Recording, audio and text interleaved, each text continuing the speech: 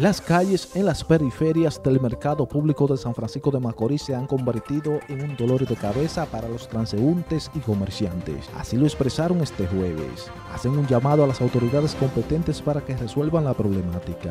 Sí. Bueno, la situación de esta calle de la Sala Orella y del, del Callejón Castillo no sirve. Nosotros nos estamos enfermando de los riñones con los hoyos.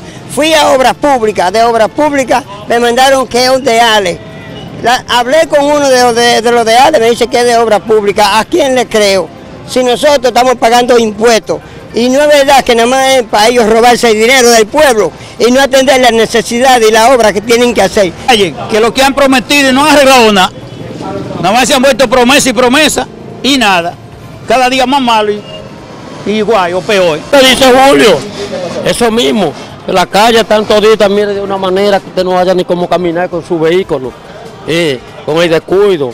Los síndicos no se tratan de ayudar a uno también porque uno está pagando sus impuestos, contando de que le van a, de que se subsanar esos problemas de la calle y cosas, ¿usted me entiende? No se puede caminar, que la arreglen.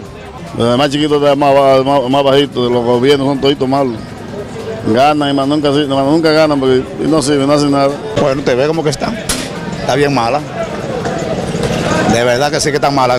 Si no hay un arreglo, está peligroso esta vaina aquí. NTN, su noticiero regional, Robinson Polanco.